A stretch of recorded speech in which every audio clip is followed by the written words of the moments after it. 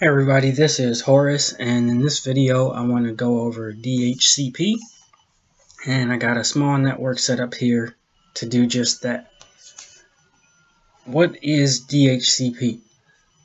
Well in the previous video where we set up server manager there was a point where I showed you that it was that the system was picking up an APIPA address and it, there was no IP address that was being picked up and it wasn't being picked up from a DHCP server.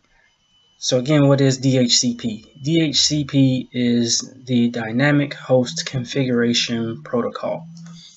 So what happens when you set up a network, essentially your host devices don't know who they are and they send a request to a server that asks for an IP address and the server will send back an IP address that the that the end device can use or the host device can use in order to communicate on the network.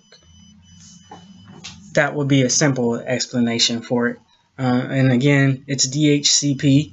Each letter of that mnemonic tells us what that protocol is. The D stands for for dynamic. When you're configuring something, you can either configure it statically or dynamically. Statically meaning that an administrator or user has to physically go in and type in the information. H being host and on our in on our network here it's going to be our PCs but it could be a tablet or an iPhone or whatever it is that you connect to the network. C being configuration, meaning we're going to configure the IP address, and P being protocol. So we're going to go in here and click on our server and configure it for DHCP. And the first thing we need to do is to set up our server. We need to give it an IP address. So we're going to go 192.168.1.1 and it has a subnet mask of 255.255.255.0 and we're going to leave that. And next we're going to go ahead and we're going to set up our DHCP service. I'm going to change the name of our service to lab pool. And we see that the the range of addresses that it will be pulling from right now is 192.168.1 and we need to change this to 2 and it has a subnet mask of 255.255.255.0 which is fine. We need to actually turn the DHCP service on and we'll save it.